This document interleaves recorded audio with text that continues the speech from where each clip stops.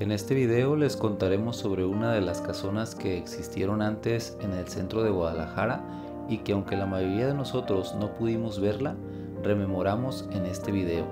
Se trata de la casa o Palacio Cañedo, también conocida como de los Huesitos. Esta finca se ubicaba a espaldas de la catedral. Vamos a conocer su historia.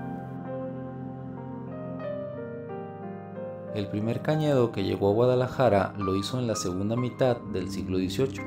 Fue el exitoso empresario y minero don Manuel Calixto Cañedo. Alrededor de 1767 adquirió varias propiedades, entre las que se encontraban una finca sin grandes ambiciones, aunque situada en un sitio privilegiado, a espaldas de la Catedral Metropolitana de Guadalajara. Posteriormente, don José Ignacio Cañedo y Zamorano de la Vega, primogénito de don Manuel, reedificó totalmente la antigua casa y la convirtió en el señorial palacio de Cantera, cuya construcción se terminaría en 1832 y que sería igualmente conocido durante su vida y aún después de su final como el Palacio de los Cañedo. La finca de estilo neoclásico tenía una apariencia distinguida. Desde el exterior parecía efectivamente un palacio virreinal. La vista del frente por la calle del Liceo era agradable, aunque un poco apretujada, y una bella balaustrada superior armonizaba al conjunto. Su entrada principal era por la calle del Liceo número 36, tenía desde su origen un pórtico que invadía un poco la calle frontal. Recordemos que había sido construida cuando todavía no había automóviles, sino que los carruajes y caballos eran los amos de calles y caminos.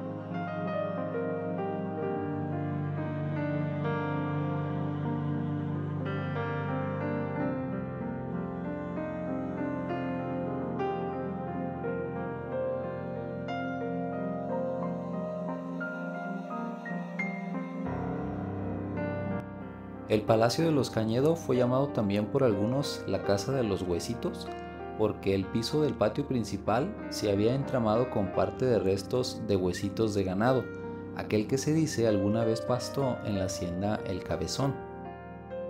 Tenemos un video también sobre esta hacienda, lo vamos a dejar el link en las tarjetas y también la descripción de este video por si lo quieren ver.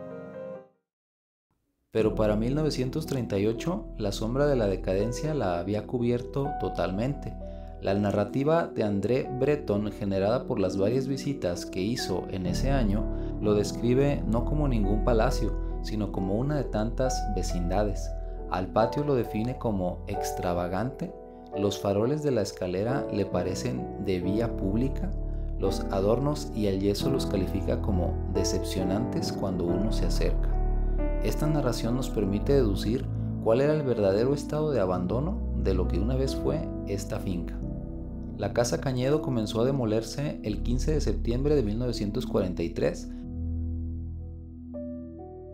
El terreno dio paso por un corto tiempo a espacios comerciales para después caer definitivamente y dar paso al proyecto de Cruz de Plazas, siendo actualmente en el mismo sitio la Plaza Liberación.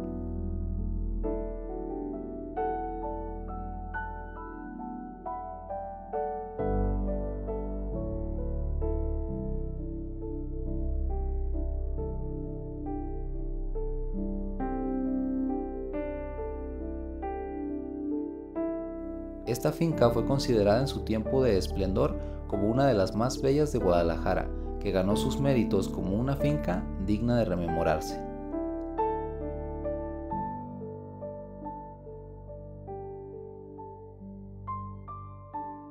Si te gustó este video dale like, cuéntanos qué te pareció este lugar y suscríbete para que YouTube te avise cuando subamos nuevos videos.